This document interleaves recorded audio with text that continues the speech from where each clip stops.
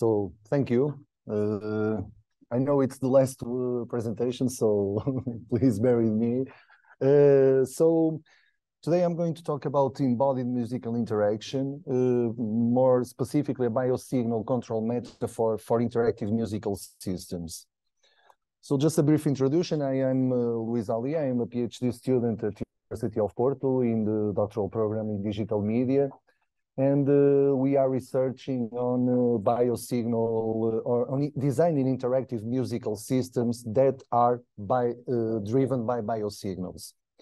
So in particular, uh, we are working in specifics with theater, with actors. So we are asking the question, how can we foster the, the expressiveness of uh, performance, of a, like enhancing the presence, for example, of an actor in stage using biosignals and uh, using that to uh, control all the generation, the sound generation, musical gen generation. So mainly, very broadly, this is my research topic. And inside of that, we are going to talk a little bit about this uh, embodied musical interaction. So first of all, uh, we are going to speak and we talk a little bit about some theories and models and some techniques on embodied musical interaction. So the first question is, what is embodied musical interaction? Uh, since the beginning of the ancient music, uh, musical practices and instruments, over time musical instruments have been designed to facilitate embodied experience, like for example, hand movements on a guitar. Okay, the guitar is designed around the, the expressiveness of a hand. Uh, with the advent of electronic music, so giving a big jump to the 20th century. Uh, embodied music interaction became an important research area, focusing on how technology can enhance musical experience. This resulted in the creation of new musical instruments that incorporate body movements. The first was probably, I don't know if you know the theremin, that instrument that you play without touching the instrument. Uh, then we have, for example, more DJ-oriented things like Kaoss Pad from Korg, and even the Wii, uh, the Wii remote uh, controller for the Nintendo. Okay, so all of these have been also used and looked upon to, to control um, electronic music. More recently, advances in computer science and engineering have enabled the development of new technologies, mainly wearable devices, virtual reality, can, can enhance embodied musical inter interaction. The continuous development of musical instruments and technologies, uh, and the growing interest in relationship between the musical interaction and the body. Uh, and even the mind and the environment it's uh, can be brought to the equation when we are creating music with these new technologies mainly computer based technologies so here in a very rough way, we can have a, quick survey about the main models and theories about uh, embodied musical interaction. Uh, we can look at it in this with the sensory motor theory that proposed that musical interaction integrates sensory input, motor output, and cognitive processes. It suggests that body movements and sensory experience shape our musical perception and also the expression. Uh, for the purpose of our workshop, probably we will work around this uh, this theme about the sensory motor theory, but we also have the cognitive models that focus on mind processes in, in the and uh, interprets uh, musical information. These models consider all musical exp is experienced by attention, for example, memory, and also perception. Uh, cultural models emphasize the role of cultural and social factors in shaping musical experience. For example, how musical practices, beliefs, and traditions influence musical perception and uh, expression, and embodied music cognition that explores the relationship between musical experience and the body. Uh, so here are the four main uh, models and theories for embodied musical interaction. We uh, focus mainly on the sensory motor theory. So in the top of that, we can consider that in our working definition of embodied musical interaction is the dynamical relationship between musical expression and the body's sensory motor abilities. There are already some technologies, uh, some we've already been discussing here. Uh, for example, the motion capture is a technology for recording and analyzing body movements. Okay, that can be used uh, to create a musical instrument or interface that respond better to the um, performer's movements or even to, to study the connection between musical expression and movement. Because, uh, for example, when playing piano, there are some schools that approach that also the body posture influences a lot what you are playing on a piano. So this is, uh, motion capture is a very uh, good technique to study this kind of questions. Uh, another type of technology that we can use in embodied musical uh, interaction is virtual and augmented reality that consists on, creating virtual or augmented environments where uh, the users can explore immersive musical experiences. Uh, I didn't catch the, the, the, example, but there are some examples where, for example, you have the recreation of a context of a st uh, recording studio where you put your glasses and you can then navigate on that studio, operate some uh, equipments and make some uh, uh, sound adjustments in virtual reality. So this is another way to to bring uh, embodied embodied interaction to to to here.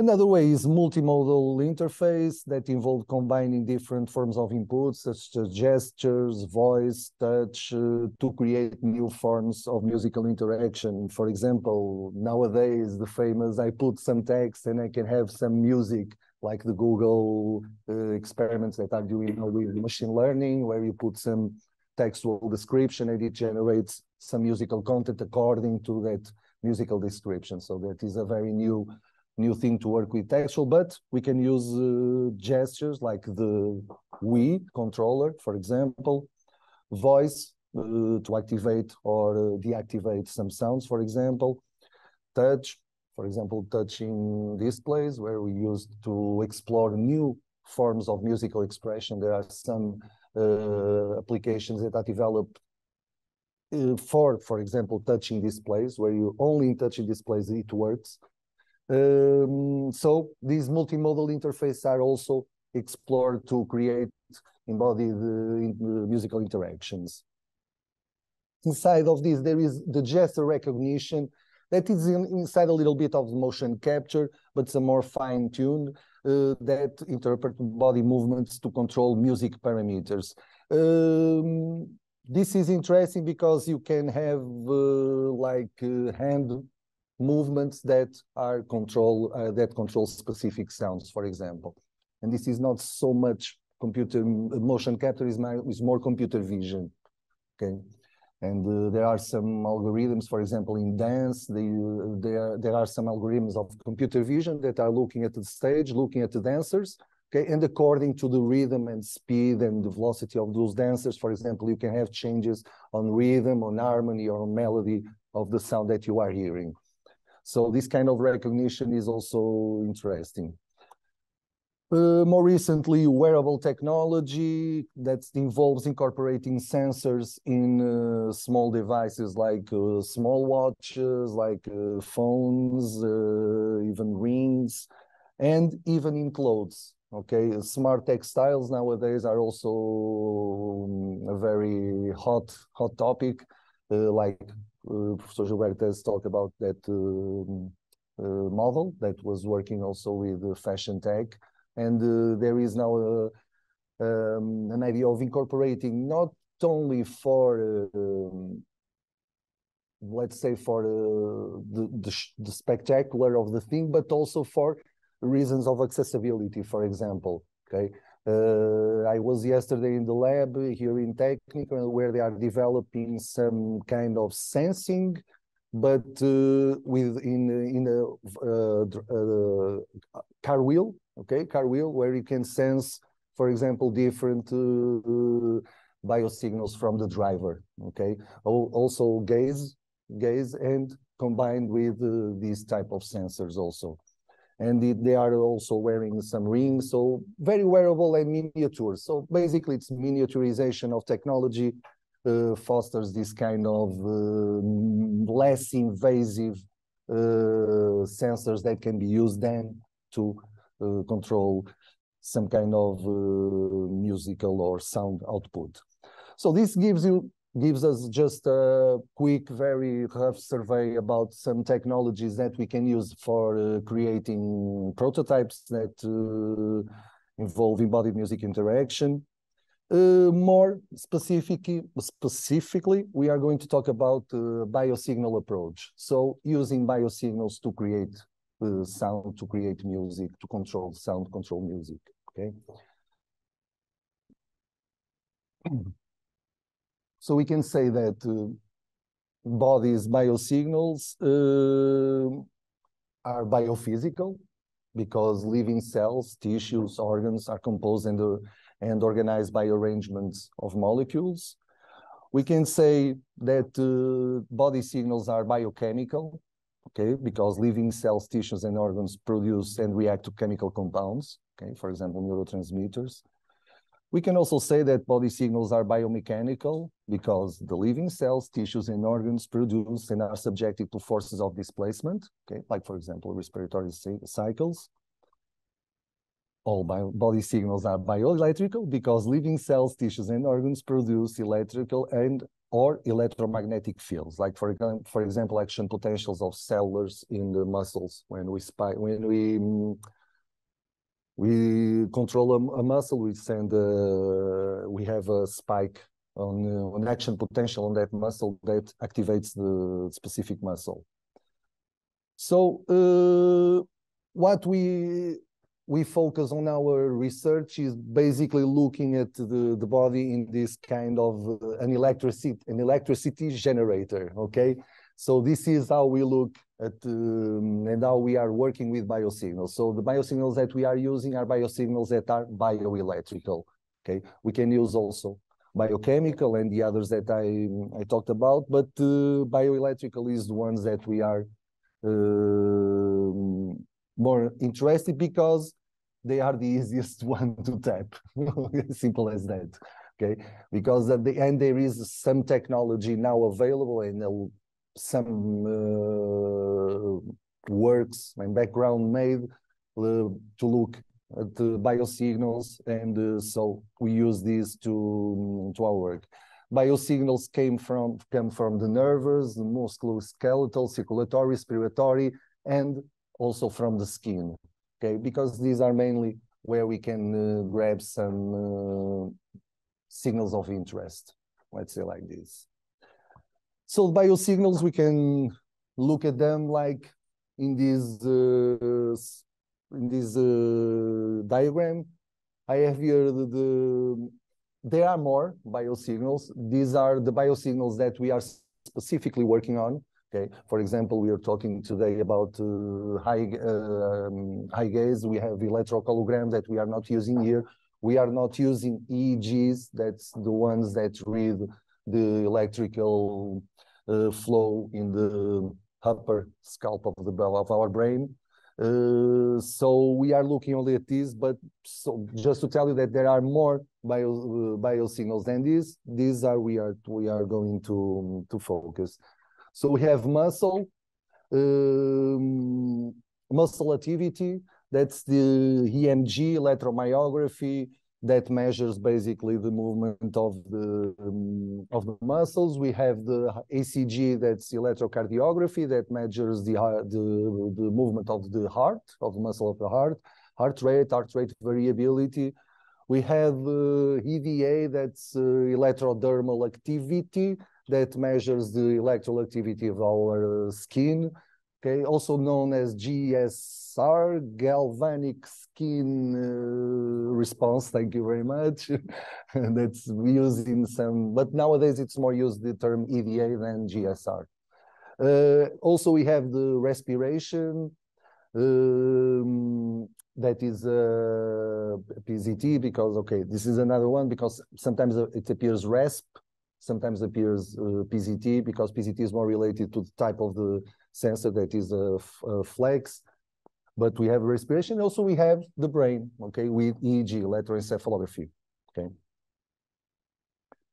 So just to give you a little more, a little bit more detail, to give you more detail about these signals, here we have some um, description of what happens when we move a muscle, okay.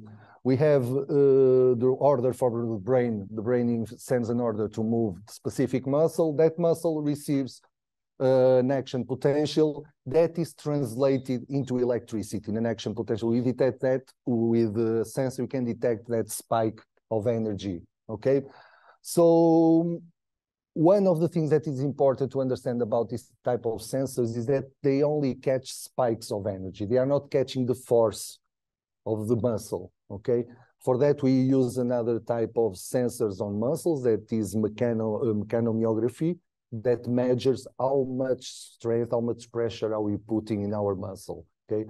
Because sometimes when we use EMGs, we think, okay, well, I'm going to detect all my strength, all my muscles. No, it only detects action potential. Okay, it spike, it ends the spike, you don't have no more information.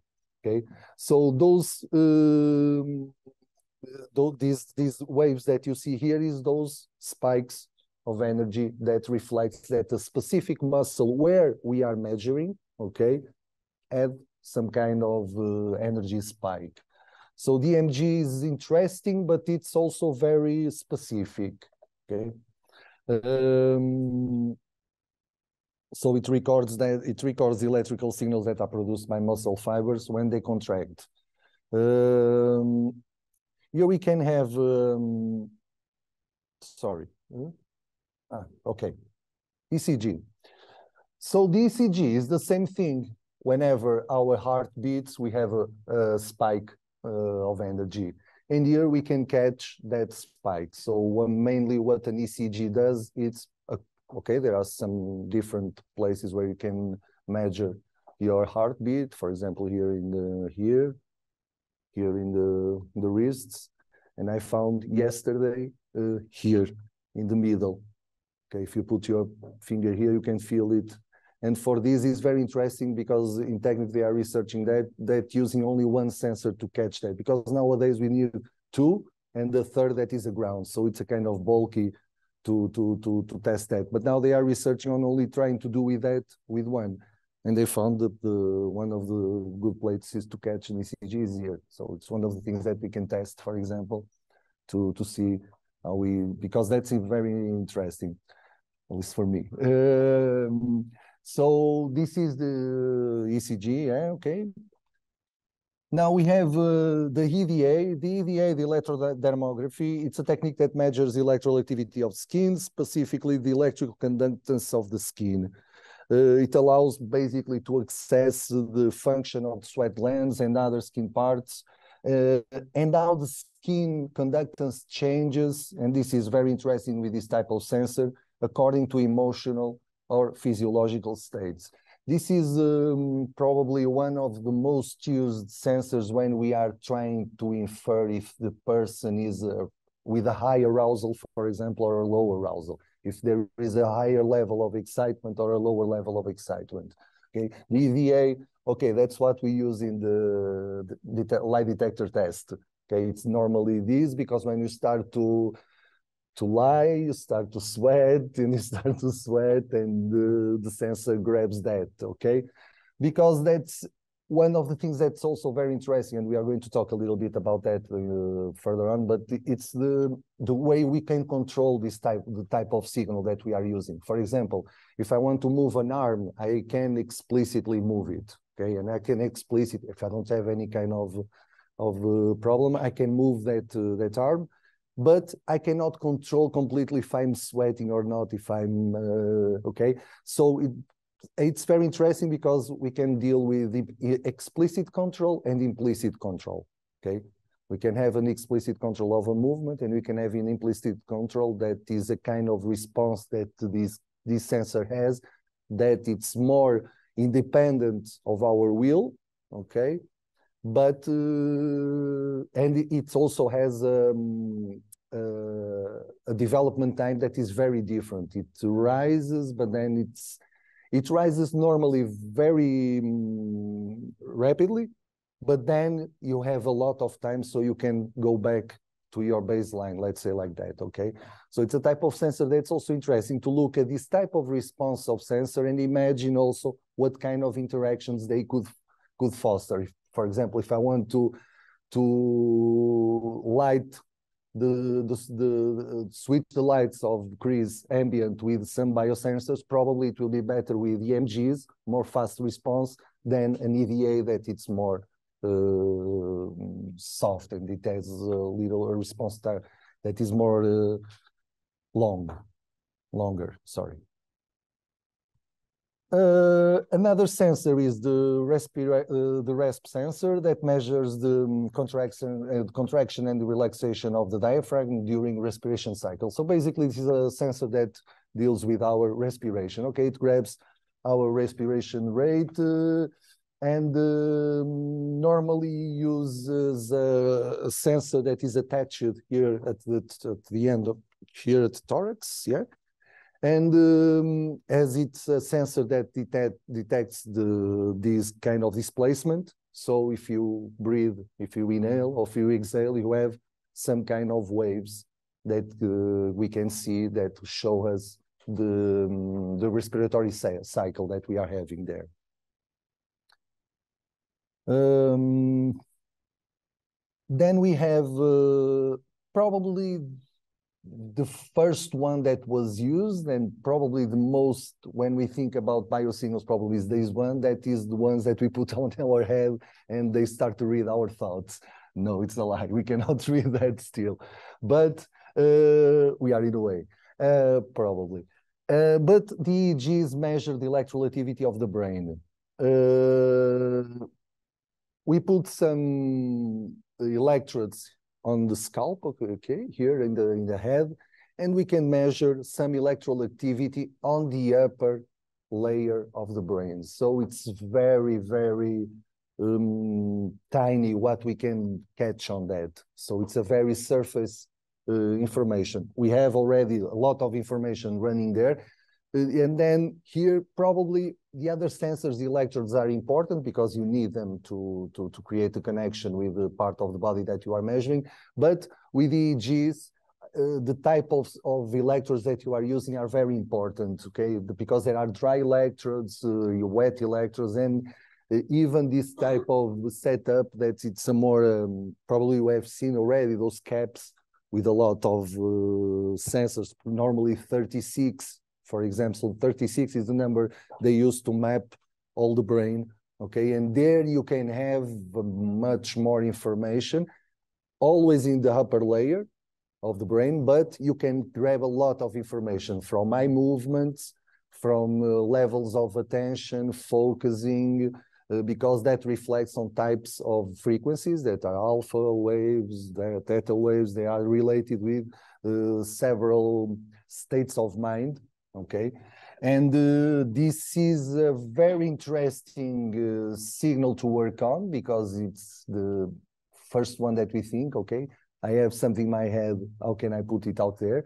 So this uh, sensor is interesting, but at the same time, they are very difficult to work on because firstly, they are very bulky, they are very complicated to set up, Okay, for example, those caps, I can tell you why we we took almost like 45 minutes only just to to put the cap and to put everything working.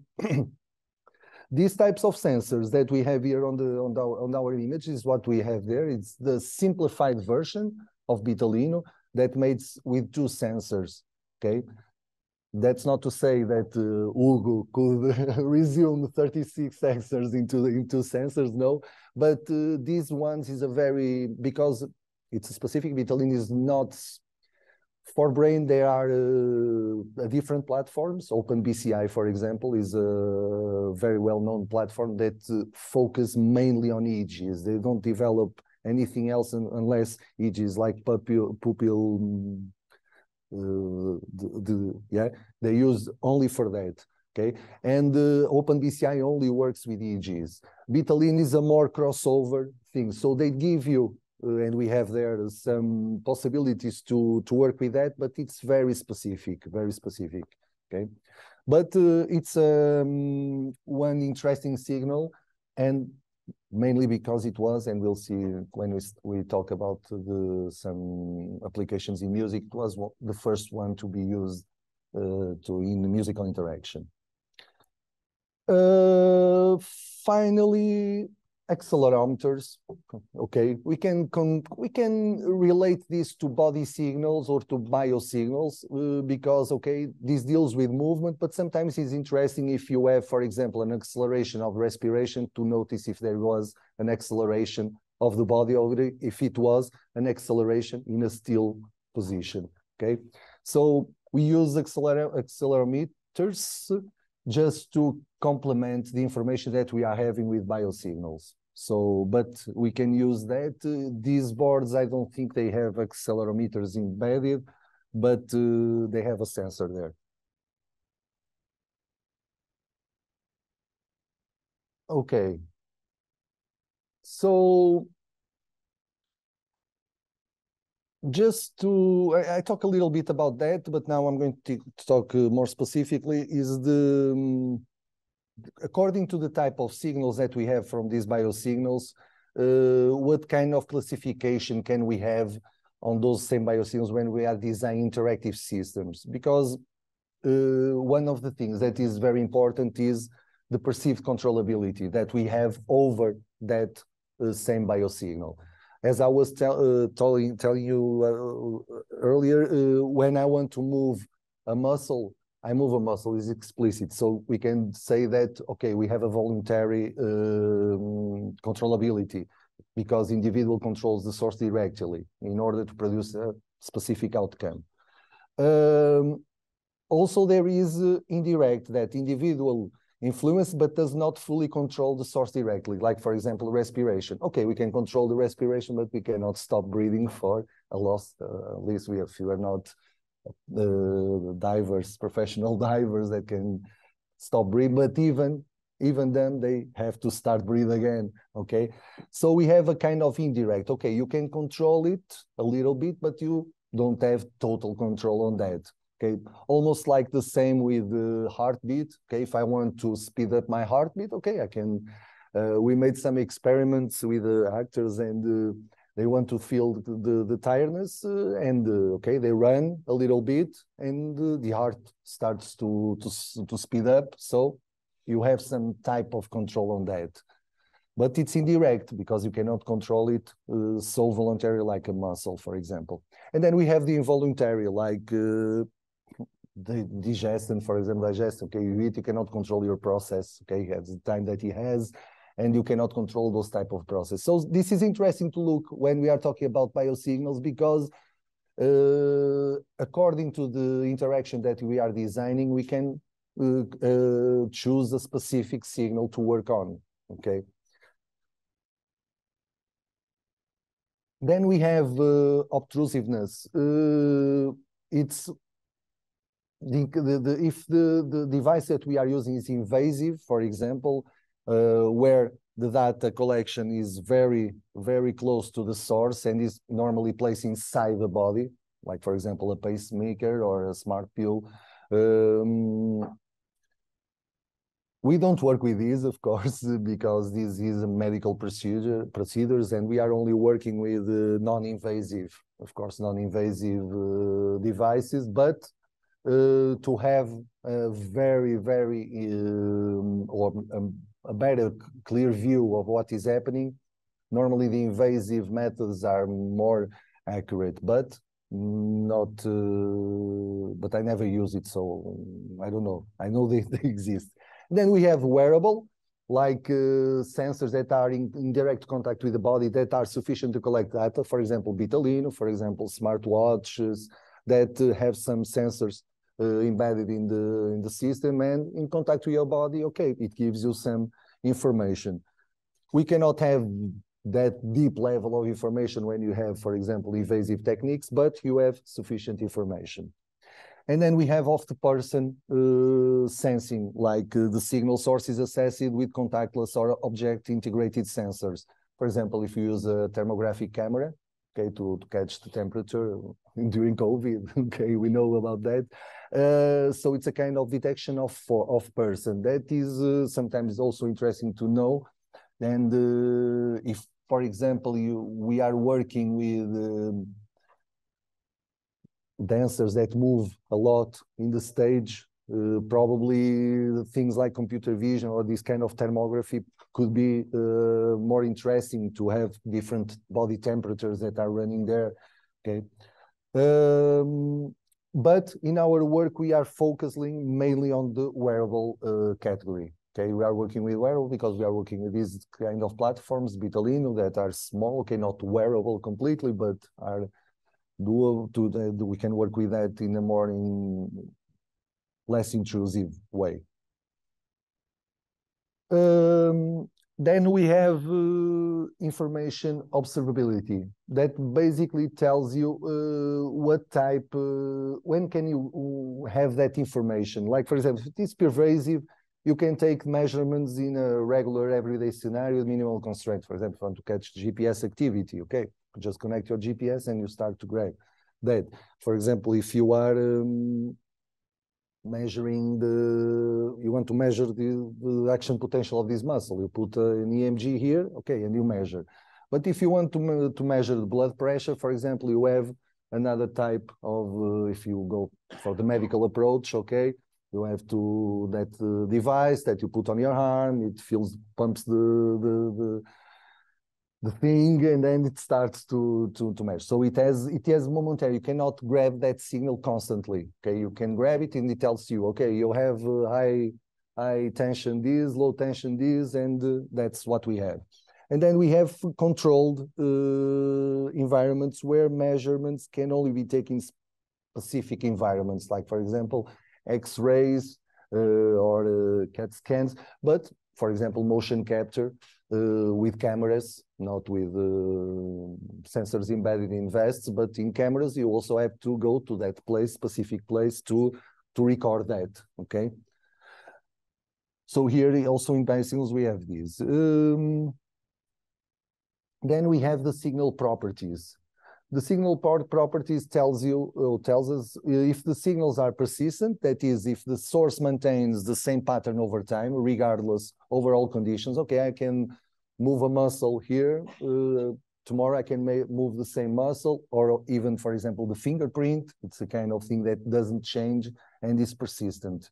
Okay, uh, repeatable uh, it's the source the source reproduce a given pattern when certain conditions are gathered like when we are working with evoked, evoked potentials. That is when we evoke some external stimuli to the to the person then we measure that okay?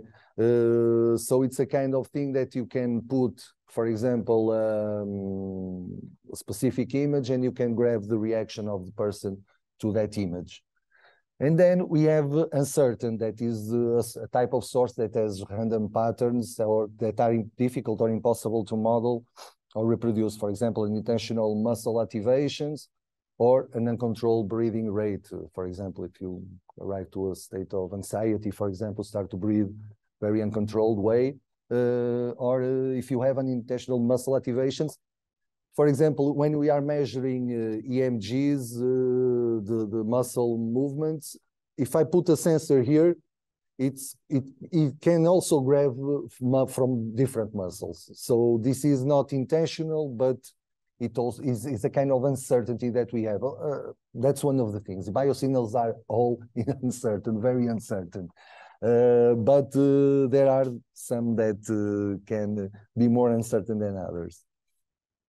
Here we can have some kind of uh, uh, better um, approach to when we look to a specific bio, biosignal. This is interesting for uh, when designing interactions because it can gives you or gives us a, a bridge between the um, biotechnological part and the creativity and the interaction part that we want to, to, to deal.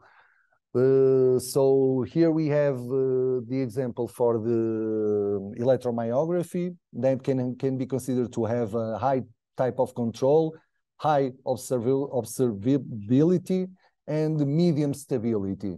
Okay, it's a high control because the person controls that type of movement. It has a high observability because we can see that happen. And it's a medium stability because the movement can change. Okay, as we have a lot of control, we have also the side effect of that, that we can have uh, very different and very not so stable um, signal. For example, with ECG, as a low control, we cannot control so much the, our heartbeat, but it can be very high observability when we measure it. We can see the spikes that correspond to the heart rate, and it's also a medium stability. For example, uh, when we are talking about EDA or for emotional arousal, for example, uh, EDA has a low control. Uh, we cannot, the, the person cannot control that type of signal because it's connected to the sympathetic uh, nervous system. So we connect, cannot have so much control on that. We can observe that because we measure and we start to see the graph moving and it has a low stability because okay it doesn't stay or it doesn't even have a rhythm okay? It's like a thing that goes up and down okay? It's more like a line and line evolution. So these are basically three examples when we can uh, look at the biosignals in a technical and a perspective and then try to make the bridge for the, the interaction design and there uh, we uh, that's where we have an empirical classification. Okay, we had a technical classification of the biosignals. Now we can look at them like the empirical classifications. What type of output I can have from the this when I connect a biosignal to a musical system. So this is a more uh, sound thing. Uh, then we can discuss a little bit if you want to more to develop some musical interactions. Is the type of sound that's going to be uh, generated. If it's a sonification, that it's basically the first experiments that were made with biosignals is like connecting a signal to an actuator when uh, you, you make this and the actuator responds to that. So it's a very explicit uh, connection. Uh, we can have uh, data collecting for analyzing biosignals from performance and for understanding a specific musical task. We can have kinetic output like mapping to vibrotile, vibrotactile surface, for example, or even to sculptures, uh, audiovisual, of course.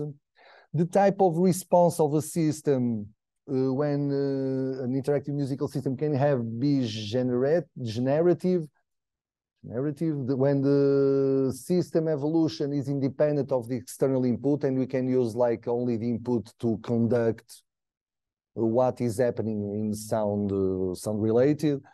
We can have transformative uh, type of algorithms that uh, you can use to transform a sound and uh, sequence and you can sequence sounds. Like for example you can have your heartbeat and according to each heartbeat you can catch a new note of a musical scale for example. And then with your heartbeat you make a traveling musical scales for example. Okay? Uh, so we can have start to, to, to think on this kind of interactions also when thinking about characteristics of the signals.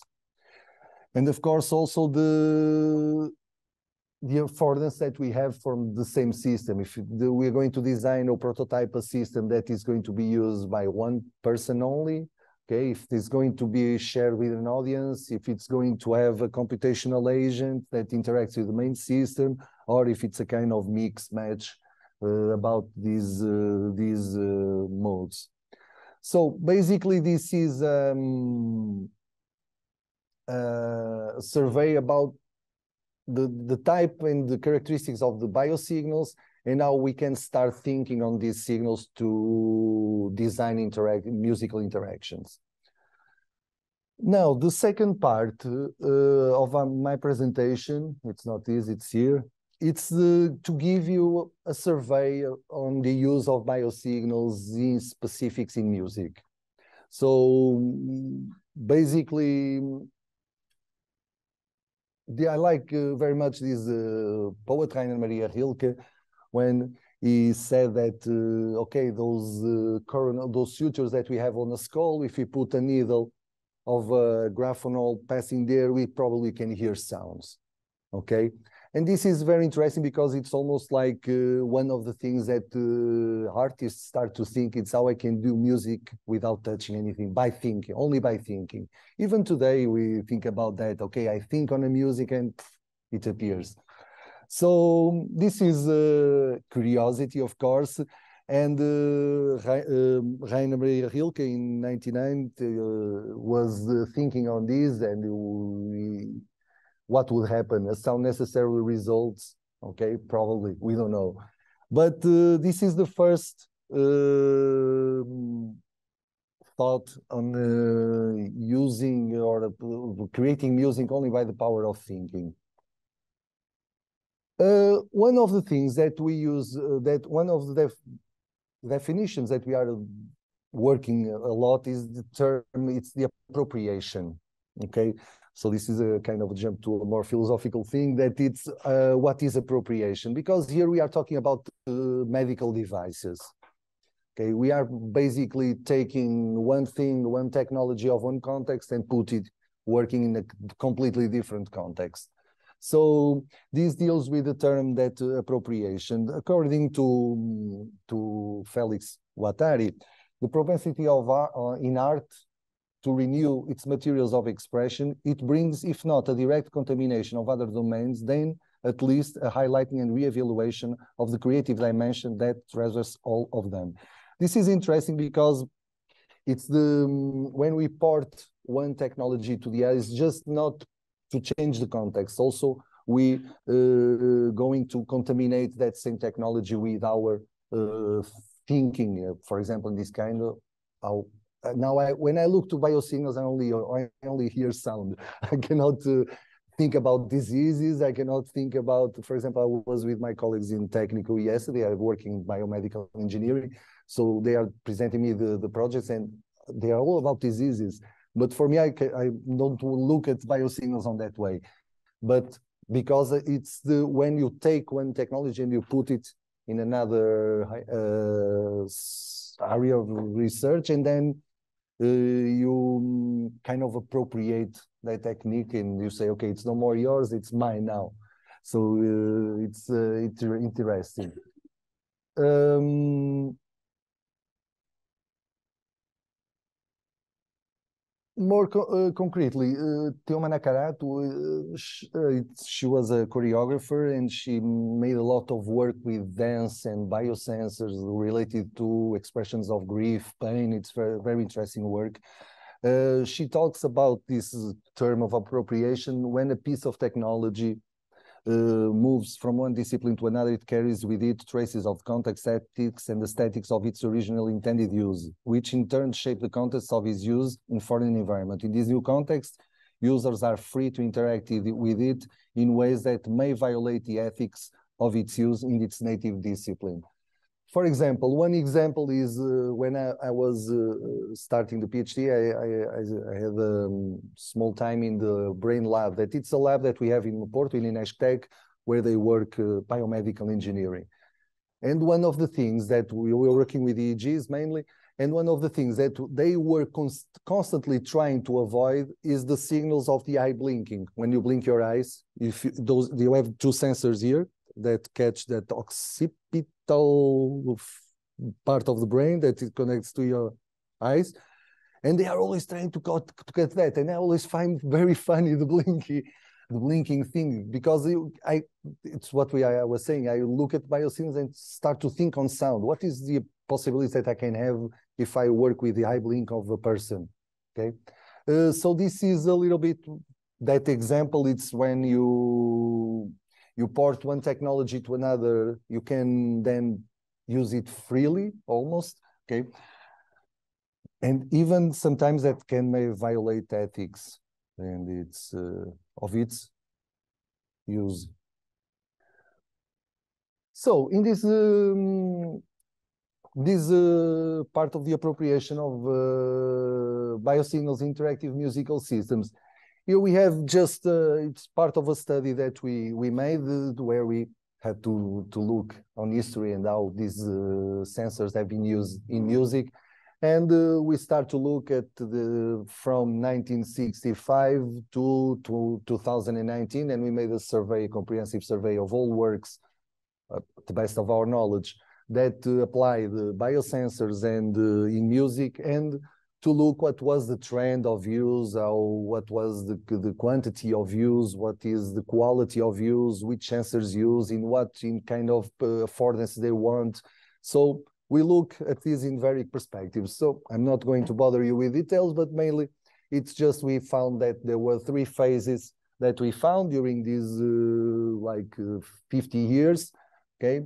The first phase that spans from 65 to 85, it's the first uh, wave of using this type of sensors in music. Okay.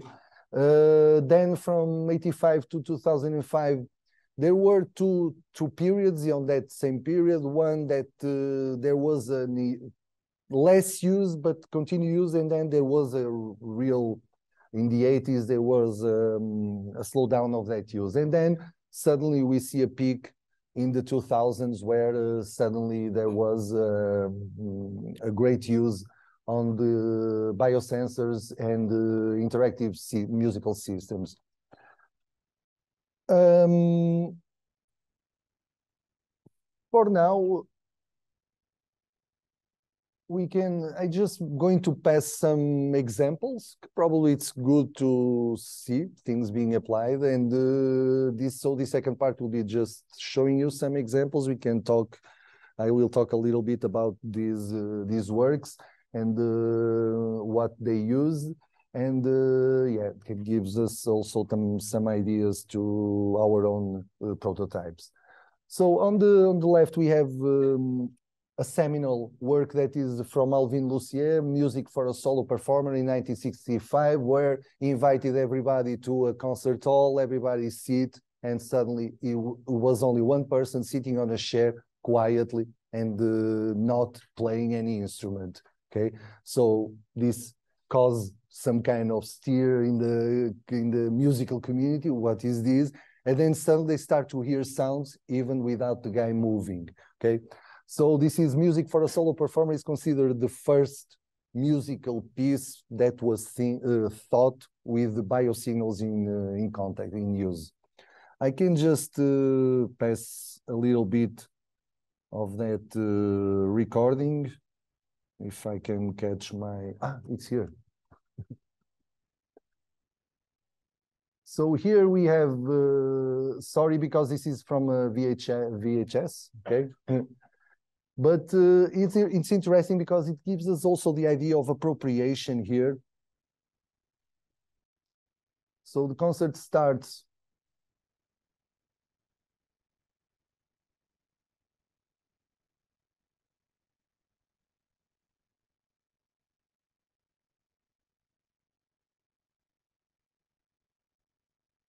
And then there is someone that going to start to put the sensors, like in a clinical setup. Suddenly you start to think that you are in a clinical setup, okay? And the, with all the procedures, the gel that you have to put, everything, even you will see that it will, I'm going just to, to make some jumps, okay? It's a clinical procedure here, and there is uh, an appropriation of that clinical procedure to the musical stage, what you or this kind to the preparation of musical?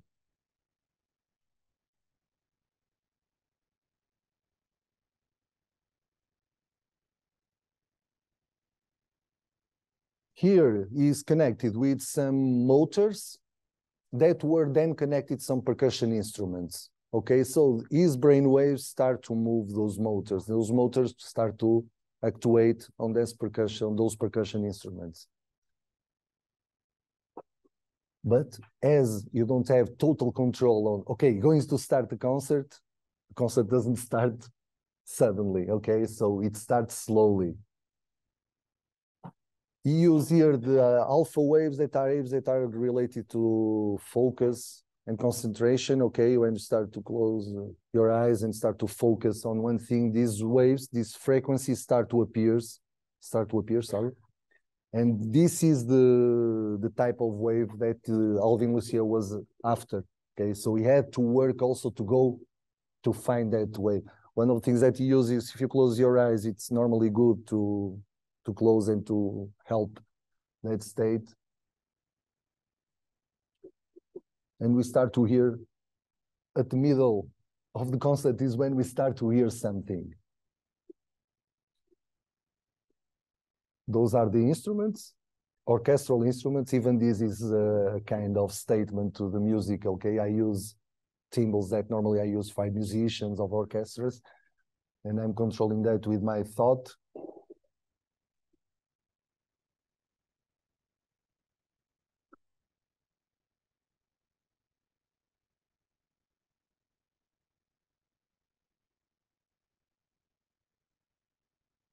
So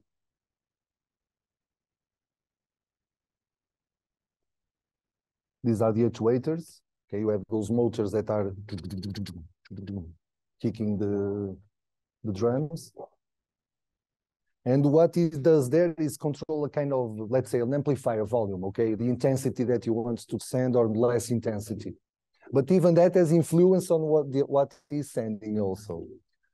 So, okay, just gives us a little uh, idea of uh, these first experiments. Um, just get back here. Uh, and this is very interesting because it was on a musical stage. Uh, in the, the middle, it's um, a, uh, an analog instrument to be played with brain waves too. EEG uh, was uh, amplified and processed, use uh, frequency. Um, basically, the the Erki Erkki Kurenniemi, sorry for the name, uh, developed this uh, thinking that uh, if we put some musicians uh, working together. And then they go to sleep. He believed that at some time the, their uh, thoughts would synchronize. So you want to measure this and you want to to use this to to but it was interesting because it was the first device device that it's not a clinical device like Alvin Lucier used. A clinical device Erkki developed his own uh, hardware and to to to to to work on this. Uh, Dave Rosenboom, uh, it's also a very very interesting or very important figure in the brainwave music because it's the first recording of uh, musical pieces composed uh, with musicians and brainwaves and he assumed the brainwaves. Brainwaves were connected to a big analog uh, systems, synthesizer systems, where the musicians were playing, but also they were feeding the system that uh, made an accompany on that. So in and even today is uh, a very uh, power user of uh, brainwave. The Rosenboom is very interesting. Uh, just to pass a little bit back, this is a, um, a, diagram of the implementation of music for solo performance from Alvin Lucier, the first one that we saw. Uh, you can see almost if you look at this, you can imagine that this is a setup for an, a plot for an orchestra, but it's not. It's only for one person sitting on a chair in the middle, and the, everything else is actuators that come from the the, the these measurements. So here we can say that these first practices that span from 65 to 85 are appropriation of medical devices that, that underwent several stages of hacking to adapt mus uh, specific musical settings. Uh, it consists basically on, the, on direct translations of brain's electrical activity into raw signals that are mapped to physical actuators and or electronic, electronic musical instruments. That is, there is no mediation on this signal. The signal get out and get in, get out of your brain, get in into the actuator. And um, there is a kind of immaterial connection between the control and feedback because uh, Alvin Lucier was sitting quietly. He was not moving. You cannot connect what you are seeing what, what, what with what you are hearing. So this uh, first practice approach the biosignal embodied musical interactions in this uh, type with this kind of uh, approach. Uh, then uh, from 85 to 2005, we, we found a second wave of using biosignals um, where uh, computational power, inter interoperability for in, between computer and human, increased transparency and hardware miniaturization promoted new approaches to the practice uh, with uh, interactive musical systems and biosignals and with more uh, sophisticated uh, mapping technologies. Uh, on the on the left, we have Sensorband. Sensor band is a band that is composed by Van der Heide, Zbigniew Karkowski, and Atau Tanaka. Atau Tanaka is a very prolific researcher in the area of muscle and biophysical music. Okay, uh, he works with a lot with muscles, muscle and skeleton positions to to to create sound. We can just look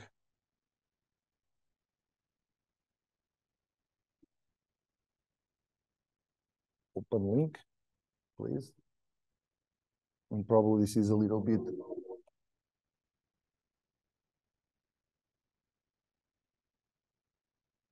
So this is more recent. It's not from that time, but uh, can gives us a little a different approach from what we see on the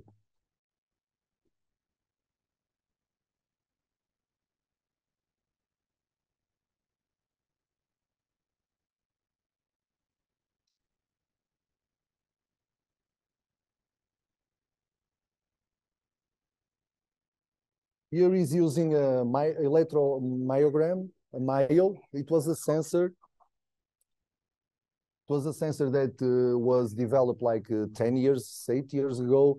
Now it disappeared completely. By the way, if you want to have one, Atau Tanaka has for sure bought every every myograms that he found on the internet because he posted a photo of a box full of them and with a tidy caption, I bought them all. You have one here. Be careful. Don't say that to him because he wants to buy that from you. Because they finished. My, my, it disappeared completely. But it was a very interesting because this is a bracelet that has eight sensors. And this is a very an EMG super on steroids because it can give you a lot of information. Like if you are pointing one finger, if you have your hand open, closed, if you are pointing to one, that's why you use this kind of patterns. Okay, this is patterns that he teach the he taught the system to learn these patterns. Okay, uh, and then to pick some sounds according to those same patterns that uh, is using.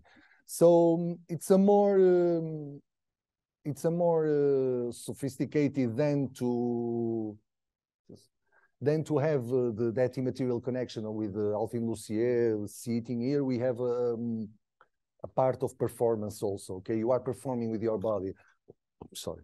One of the things that uh, is, is Atau Tanaka uh, states is that okay, if you want to work with this, you have to re relearn your body almost like you have to relearn a lot of things. Like you, when you are picking up a new instrument, start to play a new instrument, you have to, you are going to hit in the wall a lot of times. So when we are using also your body as a musical instrument, you have also to relearn how to use your own body.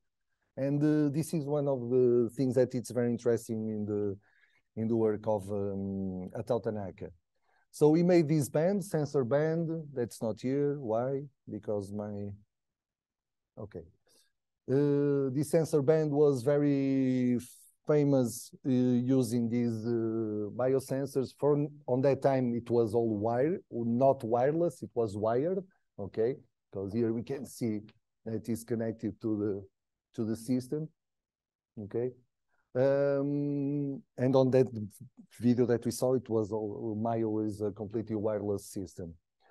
Uh, but also we had some different approaches to biosignals by introducing biosignals in um, installation. Like, for example, these are installations from Dunning and Woodrow that develop a series of working works where they explore biosensors in a more intimate context, such as multimedia art installations, where participants, for example, on the left, it is a live cast uh, dummy, okay, and the participants were invited to touch, stroke, and to breathe on particular sizes of that uh, of that body, and then it creates sounds and visuals according to.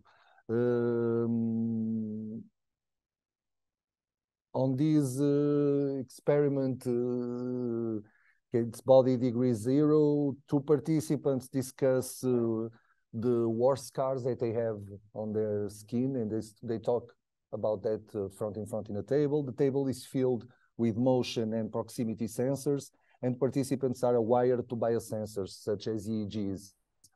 And uh, the idea is as they share and they tell their stories, there is a 3D visualization uh, about that emotional state and the physiological state of those participants when discussing some uh, war themes that they pass uh, on.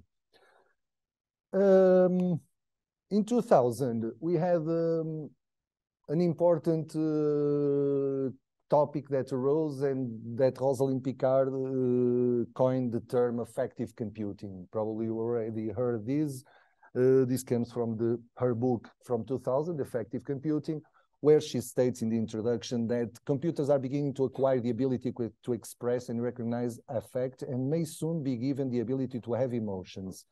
Models are suggested for computer recognition of human emotion and new applications are presented for computer-assisted learning, perceptual information retrieval, arts and entertainment, and human health and interaction. Affective computing coupled with new wearable computers will also provide the ability to gather new data necessary for advances in emotion and cognition theory. So basically, she's uh, postulating the, the affective characteristics that a computer can have. Not, not only in recognizing emotions, but only expressing emotions through content. Okay, so this is very interesting because it brought the idea to the to the discussion this idea of affective uh, computing. This is one of the prototypes that uh, Picard developed that is the um, conductor's jacket, that is a jacket filled with sensors that were um, uh, that conductors use during the, um, the musical performance. And so they record, recorded all that data and they want to, to, to to link how expressive uh, movement is and how connected is that to the, also to the expressive of the to the expression of music. Um, so it's a specific uh, jacket that is equipped with physiological and motion sensors to catch that uh, information.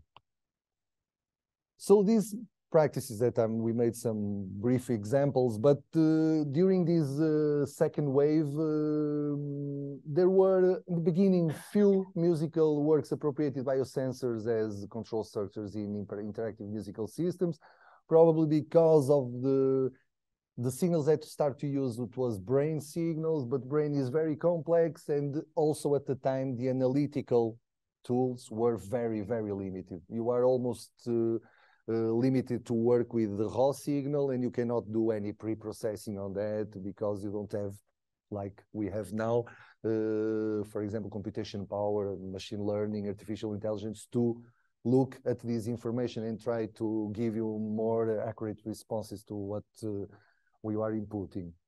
Although in the 2000s, we have uh, an emerged uh, biosignal driven interactive musical systems emerged with higher levels of reasoning, uh, fostering uh, new age where techniques such as artificial intelligence and machine learning were became pervasive. So this brings you to the third and last wave of the appropriation of biosensors in interactive musical systems.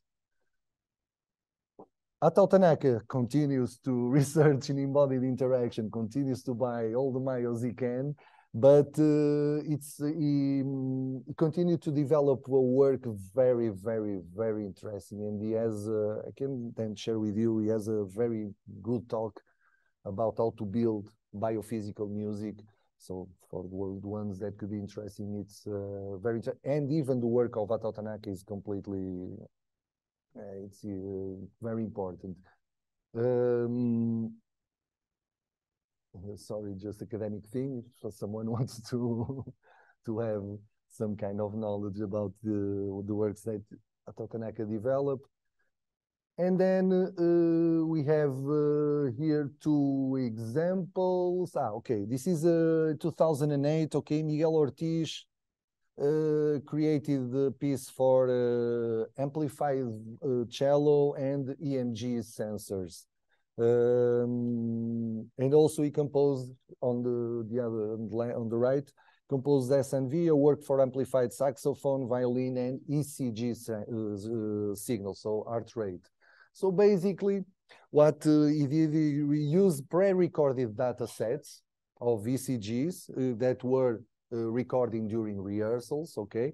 And then use that uh, information to generate new material during the performance as uh, specifically melodic and rhythmic patterns when he interacts with the cello. So he plays cello and then he can have some kind of a company that uh, interacts with that. Indeed, that comes from these pre-recorded data sets that uh, Miguel made from ECGs. Uh, also, we worked with, uh, I put here because these are all colleagues of ours in the PhD in digital media, uh, and they developed a pro collaborative project in 2015, the Sonic Minds, uh, where they propose a real-time sonification for of the brain phenomena through uh, neuro and also because this was made also with the faculty of psychology and neurophysiology department so also they were working on this uh, project um, this project it is multimodal brain orchestra as a project that explored the creative poten potential of a collection of musical brains. Okay, not only one brain, but a collection of musical brains. So the orchestra members played virtual musical instruments using EEGs, the electroencephalography. Also, these here, as we have now um, the ability to make signal processing, they start to infer some kind of emotional state also. And we start to talk about emotions here. I think here we can see, uh, because I know there are some people here from Barcelona. Yeah, they are from Barcelona, so I'm going to to pass. And this is interesting because it's they huh? login. Ah, push. Sorry.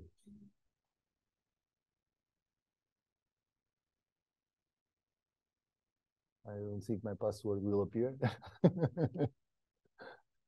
So it's a small three minutes video. I propose we see the video because it's interesting. They are talking about the process of creating these uh,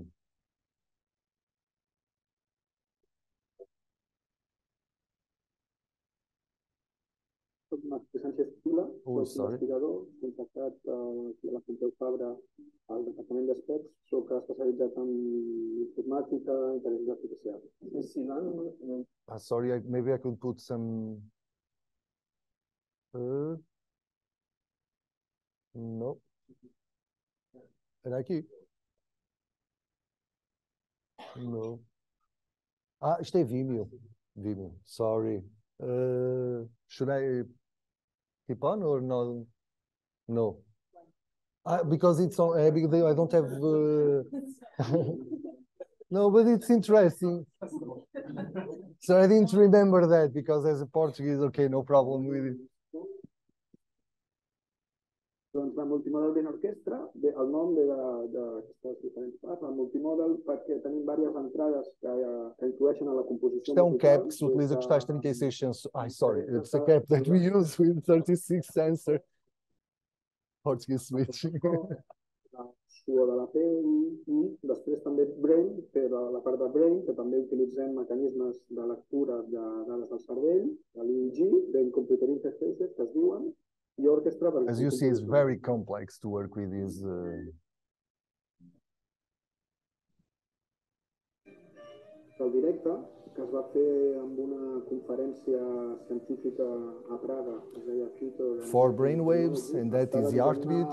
disposat de la següent manera. Hi havia els quatre músics amb els Brain Computer Interfaces en una part de l'escenari, asseguts amb, amb cadires perquè has d'estar calmat per parar atenció al sistema Després hi havia un altre músic que és el que estava connectat al batec del cor i a la suor de la pell, que influïa amb els visuals. El director d'escena en el mig, dirigint només els músics de, que estaven connectats amb el Computer Interface i les dues pantalles presidint la hay una primera fase que es una fase de entrenamiento, básicamente. Las personas están uh, utilizando estas interfaces durante, no algo media hora o una hora, dependiendo de los casos. Y solo que tienen que hacer en el caso de 300 es uh, pensar, concentrarse en una letra que está en la pantalla y, nada más. Por ejemplo, había una partitura escrita por un compositor que se llama Jean-Claude con quien colaboramos. En un cierto momento de la, del, del, del concierto, uh, el, el, jefe de orquesta dice, bueno, vamos a, tenemos que ir a esta parte A, por ejemplo, brain musician, uh, piensa en la letra A, e isto uh, hace que el evento pase. Isto só porque, porque há aqui coisas que são interessantes, que é quando... Ah, sorry. Switch to English. There are some very interesting things here because, uh, and this is uh, one of the things that I I didn't know, didn't knew that, but when I saw, I was kind of struck with that. Is for example, when you think on letters, you have specific parts of your brain that shoot okay when you are thinking on moving your hand and you move you there are specific parts of the brain that shoot but if you are thinking on moving your hand and you don't move your hand there is a different part of the brain that shoots okay? That's why he's saying okay when we want to change to a specific part of the composition we should think on letter a or we should think on something that they trained and they th they saw that uh, it was the um, kind of ground base for everybody. So they have to start to think, and then you have to evoke that. That's why they have those displays with the, the image is coming. So to evoke that, because here it's also very difficult to, there is a difference between evoking and eliciting, okay? In evoking, you have an external stimuli. In, in eliciting, it's from you. So here, that's why they have also these displays, is that they could have some kind of evoke, evoked potential, so they can have some kind of more um, uh, provision of what's going to happen. Okay, because take it with a grain of salt, of course, uh, because these signals are very uh, different, very unstable. utilitzada, però al mateix temps, a mesura que vagin millorant... And this is normally these movements of light that your brain is going to flicker different parts of the brain. D'aplicacions virtuals o de navegació per mons virtuals una infinitat d'aplicacions i també va en conjunció coneixement del cervell, amb el qual és una tecnologia que, que no pararà d'investigar-se. Well, this is a an example of this uh, multimodal brain orchestra. I think they stopped this uh, project, but uh, until very recently they were still working on this. So, and they make some very interesting projects. So just to move on, uh, more recently, this is a work of Marco um, Donnarumma uh, this is um, a performance that he made, Corpus Nil. Uh, it's a performance by man, a performance by man in artificial intelligence that it was presented on Ars Electronica in 2017, and it received an uh, honorary prize award for this piece. And I saw this live; it's amazing. And here, uh, Marcos uses these sensors here are mechanical and these are sensors that sense the pressure that you, the force that you are applying to the muscle, not the potential, but the force that you are applying. Because this has to do a lot with the work that he developed, that is a work with the fusion of, about the meat, meat and the technology and the machine. Okay, the, this is a kind of very cyborgist uh, thing. And uh, on this type of work, the, the, the mechano not the electromyography, but mechanomyography. It's more used when you want to catch the, the strength and that you are putting on your muscles. So he, he, Marco Donnarumma deals with hybrid identities reflected in concepts such as being either a human or a machine. Uh, man and machine take the stage together in a conventional sen uh, sense, but what emerges is an hybrid new creature that normally emerges from his works. Um, yeah. Um, this is a fabulous, uh, incredible uh, work that he presented uh, very recently. Like I saw it in 2018, yeah. It's the Alia Zǔ Tài.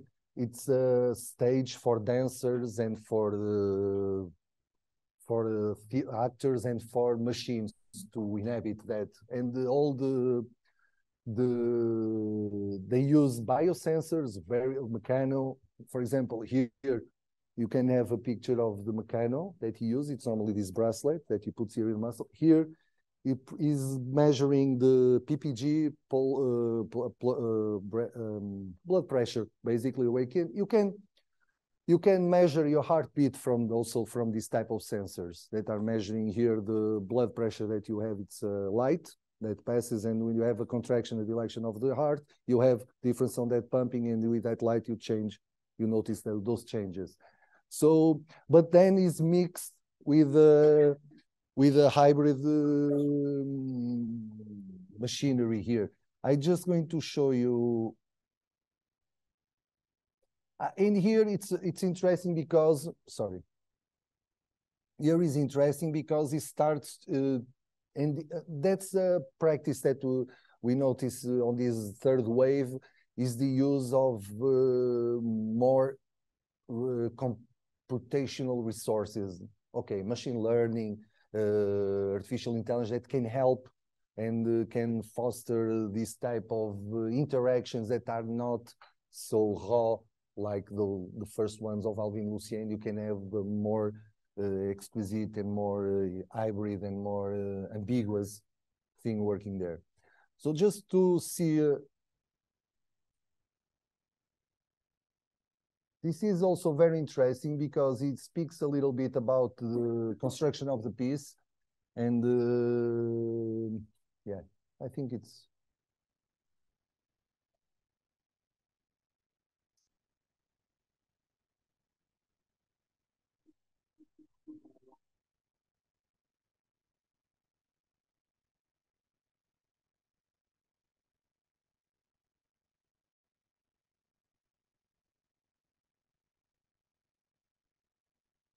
Zǔ Tài is a performance project that combines uh, dance theater and artificial intelligence and biophysical music.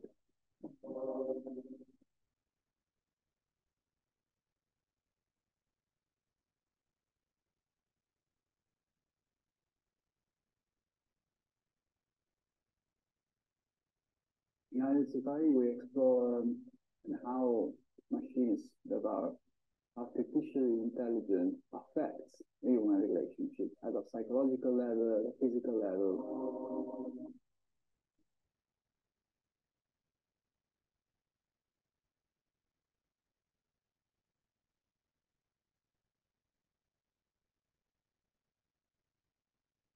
This machine is reacting completely to the physiological state of the actors. The machine is reacting to that both theaters. It has been quite an exciting journey through this various understanding of the potential and the danger of artificial intelligence. And also the artificial intelligence generates the script in real time for the, the piece. Working as a choreographer and a, a performer for this project, and uh, the most uh, interesting question I got often asked was, how does it feel to work with AI, the high tech, the robot, which has its own uh, sensation and uh, reactions.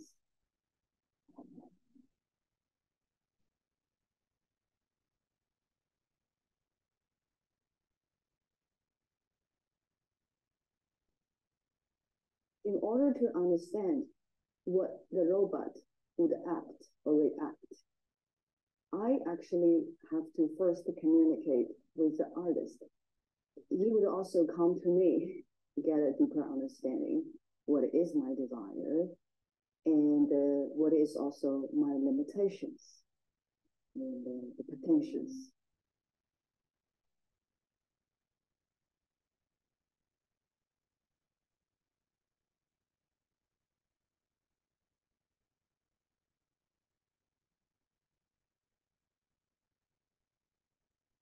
I also thinking about the why our daily life is designed in this way, our modern life in this way. What is the difference between the before the ancient life to now?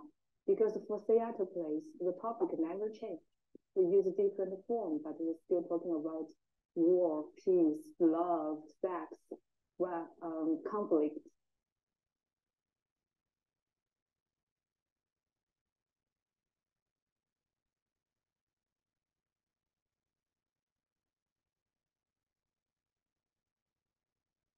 This new topic bring me, I can dig more about what is human beings and what the new life, the technique life change us, or in fact, it changed nothing.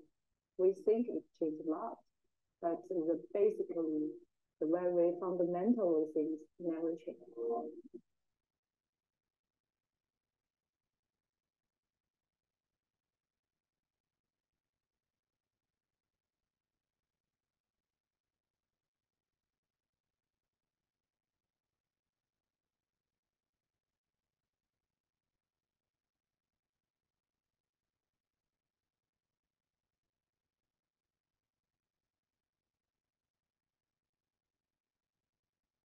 So, um,